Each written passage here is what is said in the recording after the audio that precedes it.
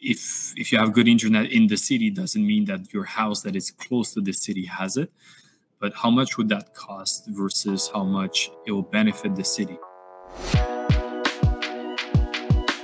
There's less and less people in remote areas that people tend to aggregate towards and it's true that as we move to this information age when more more and more of the things are offered as a service the problem is when you have internet, you don't need to be in the city as much, and because of the housing problem. But there's a natural motion towards people going back, finding houses in more remote areas and regions. Some of those places are losing on the ability of attracting those talents. Sometimes these people come from that area, they just want to go back. Sometimes it's a new adventure for them. But if internet is not servicing it, then it's not an option. They're not going to buy a house here if internet is really bad or really expensive. Because I've seen those little initi- initiatives all through Europe of trying to attract those digital nomads, that very specific talent pool, saying, hey, we can give you a very affordable cost of life in that area.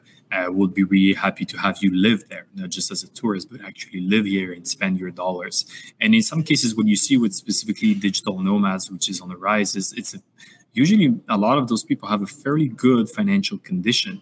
They make fairly good bucks, especially if they can relocate in more remote areas. If you take a place like Les Îles la Madeleine, where internet high speed got for the first time accessible a few months ago, but it's still $100 a month.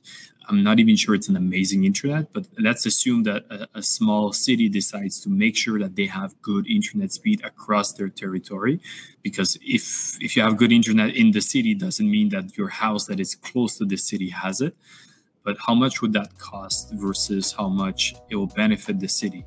And I'm pretty sure that the government is losing money here.